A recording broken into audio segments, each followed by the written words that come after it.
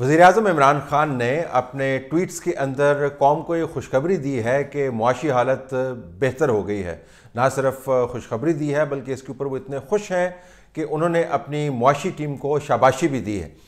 Tweets کے اندر انہوں نے ادادہ شمار بتائے ہیں۔ اس میں بتایا گیا ہے کہ کس طریقے سے پاکستان کا کرنٹ اکاؤنٹ ڈیفیسٹ جو ہے یعنی ہمارے خرچوں اور جو آمدن ہے، اس کا جو خسارہ ہے، وہ کم ہو گیا ہے اور تاریخی طور پر کم ہو گیا ہے۔ اور پھر یہ بھی بتایا ہے کہ پاکستان کے اندر بیرونی سرمایہ کاری ہو گئی ہے، جو ریکارڈ ہے اور اس کے اوپر وہ بہت خوش نظر آتے ہیں۔ یقیناً اعداد و شمار کے اوپر بحث ہو سکتی ہے۔ دو مشاہدات آپ کے سامنے میں رکھتا ہوں۔ ذہن میں رکھیے گا۔ ایک تو یہ کہ جو فارن ڈائریکٹ انویسٹمنٹ کی وہ بات کر رہے ہیں کاش کہ وہ یہ بتاتے کہ کن شعبوں کے اندر یہ انویسٹمنٹ ہو رہی ہے، تاکہ ہم سب کو پتہ چلتا ٹیکس پیئرز کو اور پاکستانی شہریوں کو کہ کن کن شعبوں کے اندر سرمایہ کاری سے پاکستان کی جو زندگی ہے وہ تبدیل ہو رہی ہے اور یہاں پر جو لوگ کروڑوں کی تعداد میں پریشان ہیں اور لاکھوں کی تعداد میں نوکریوں سے ہاتھ دھو بیٹھے ہیں۔ ان کو تسلی ہو کے آنے والے دنوں میں، کن شعبوں کے اندر ان کے ہاتھ میں نوکریاں آئیں گی سرمایہ کاری کی وجہ سے۔ ہم آپ کو یہ بتا دیں کہ جو سرمایہ کاری کے سٹیٹسٹکس ہیں، یہ بڑے زبردست ہیں۔ کیونکہ یہ جو ٹریجری بلز ہیں، یہ ان کو جو انویسٹر نے خریدا ہے، اس کے اعداد و شمار کو بنیاد بنا کر بتایا جا رہا ہے کہ باہر سے انویسٹمنٹ کتنی آ رہی ہے۔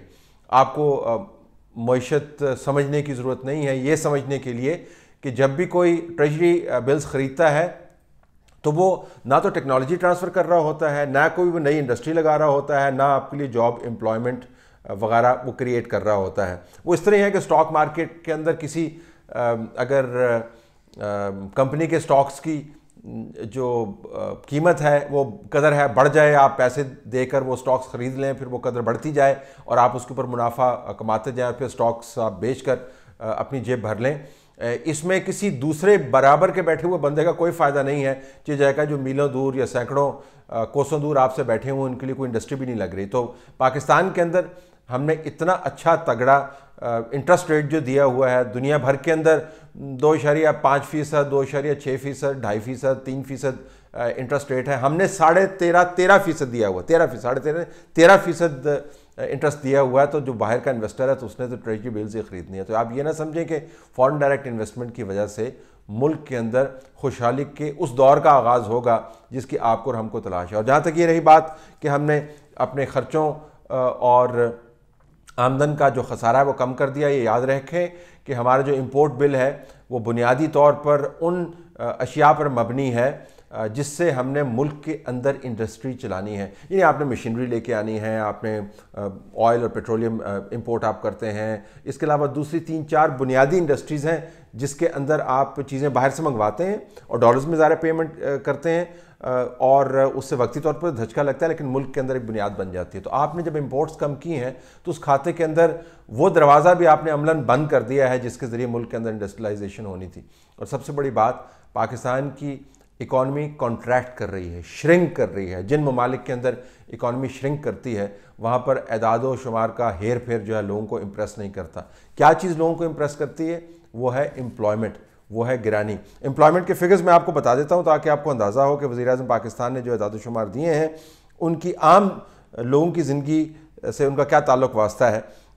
رضا رومی کا ایک ٹویٹ آپ کے سامنے رکھ دیتے ہیں، جس کے اندر انہوں نے former finance minister Hafeez Pasha صاحب کو کوٹ کیا ہے، ایک موتبر نام ہے پاکستان کا، انہوں نے کیا بتایا ہے؟ انہوں نے بتایا ہے کہ عمران خان صاحب کا جب دوسرا سال ختم ہوگا، جو آغاز ہو گیا ہے جس کا، تو اس وقت تک بیس لاکھ ورکرز اپنی نوکریوں سے ہاتھ دھو بیٹھے ہوں گے۔ بیس لاکھ ورکرز بیس لاکھ ورکرز کو آپ کو اب صرف چھ سے ضرب دینی ہے یہ جاننے کے لیے کہ کتنے گھرانے متاثر ہوں گے۔ تو بیس لاکھ ورکرز اپنی نوکریوں سے ہاتھ دھو بیٹھیں گے اور تقریباً اسی لاکھ لوگ غربت کی لکیر سے نیچے چلے جائیں گے۔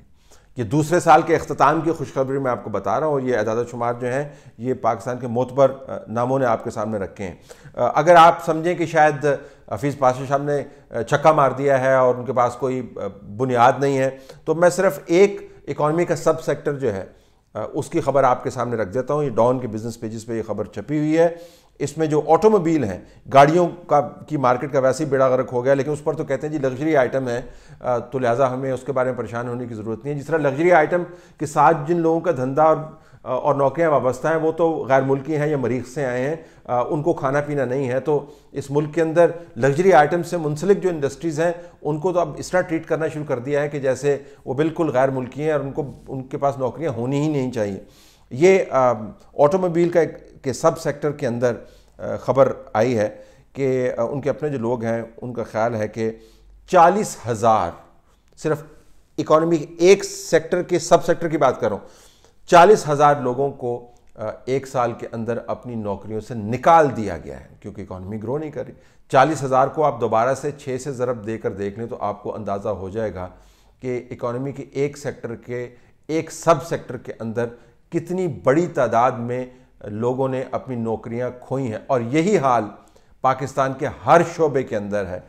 چاہے آپ کنزیومر گڈز کا شعبہ اٹھا کے دیکھ لیں، آپ تعلیم کا شعبہ اٹھا کے دیکھ لیں، آپ کلینکس دیکھ لیں آپ گروسری سٹورز دیکھ لیں بڑے لین دین سے لے کر چھوٹے لین دین تک جہاں پر کاروبار چل رہا ہے وہ ٹھپ ہے۔ جب کاروبار ٹھپ ہے، نوکریاں لوگوں کی جا رہی ہیں، غربت کی لکیر سے نیچے لوگ جا رہے ہیں بزنسز بند ہو رہے ہیں ایکسپورٹر جو ہے وہ پریشان ہے کہ ہم اپنے مال کو بھیج نہیں پا رہے کیونکہ ہمارے پاس جو ریبیٹس آپ نے دینی تھی وہ نہیں مل رہی۔ جو چھوٹا بزنس مین ہے، وہ لوگوں کو نکال کر اپنی جان کو اور اپنے بزنس کو بچانے کی کوشش کر رہا ہے۔ تو کس بنیاد پر ہم یہ کہہ رہے ہیں کہ معیشت کی سمت درست ہو گئی ہے؟ یقیناً جن لوگوں نے آئی ایم ایف کے ساتھ ہاتھ ملایا ہوا ہے اور آئی ایم ایف کے فارمولے کے اوپر کام کر رہے ہیں، وہ جب ٹویٹ کریں گے تو ان ٹویٹس کے جو تیر ہیں وہ اوپر کی طرف ہی جاتے دکھائیں دیں گے۔ لیکن جب لوگوں کی زندگیوں کے جو بیرومیٹرز ہیں، جس کے اندر کھانا پینا ہے، جس کے اندر چھت ہے، جس کے اندر نوکریاں ہیں، جس کے اندر غذا، صحت یو نیم اٹ ان کے اوپر آپ اعداد و شمار دیکھیں گے تو آپ کو لگے گا کہ پاکستان ایک بھیانک معاشی طوفان کا سامنا کر رہا ہے۔